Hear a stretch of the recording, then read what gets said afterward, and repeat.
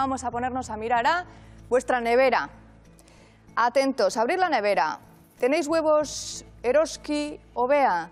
Pues cuidadito, porque Eroski ya ha dicho que ha habido un problema higiénico-sanitario en una de las granjas de sus proveedores y los han tenido que retirar. Bueno, los han retirado y están avisando a todos aquellos que tenéis esos huevos en casa que no los consumáis. Eh, claro, cuando, dicen un problema higiénico-sanitario, yo no sé, Mario Sánchez, tecnólogo de alimentación, ¿a qué se refieren a Racha León? Hola, muy buenas tardes. Eh, pues sí, la verdad que este término quizá es un poquito eh, amplio. Es difícil establecer cuál ha sido el problema exacto, la verdad, porque el término higiénico sanitario agrupa muchas cosas.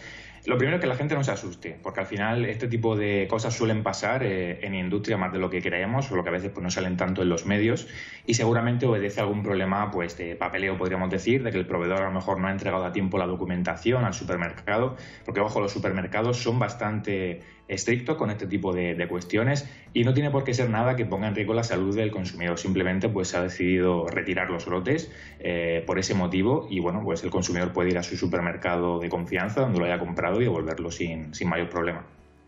Eh, claro, y ahora mismo el consumidor, la persona que sepa que tiene esos huevos, ¿qué hace? No comerlos, ¿no? Obviamente, no consumirlos, pero ¿qué, qué se puede hacer? Sí, bueno, si nos atenemos a lo que ha dicho la nota de prensa de Eroski, que por supuesto, pues este proveedor será uno de tantos que tiene, no es eh, que todos los huevos tengan este problema.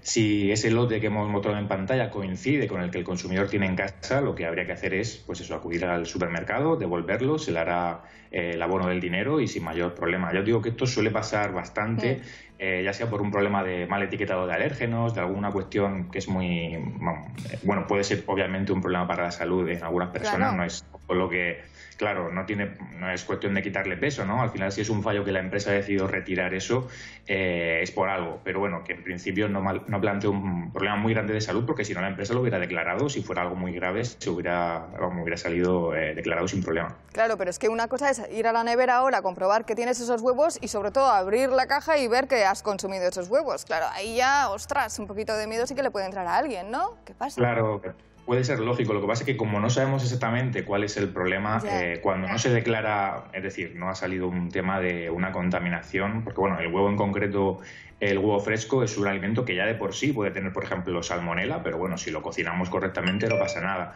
Pero no va a ser un caso como eh, otros escándalos que seguro que nos suenan, donde, bueno, pues se ha, se ha armado bastante gorda, podríamos decir, donde se ha, ha, salido la bacteria listeria, por ejemplo, muy a la luz. Cuando hay un caso muy grave donde peligra y las personas se enferman, esto al final se sabe y, bueno, si es así, que parece que no, saldrá a la luz seguramente. O sea, que en principio la gente que no se preocupe porque esto es simplemente un fallo que ha salido, pues por desgracia no se ha detectado a tiempo antes de que el producto salga de la fábrica y simplemente será una cuestión de papeleo y poco más. Bueno, pues ya nos quedamos más tranquilos. Parece que funciona el protocolo ¿no? de seguridad, es verdad.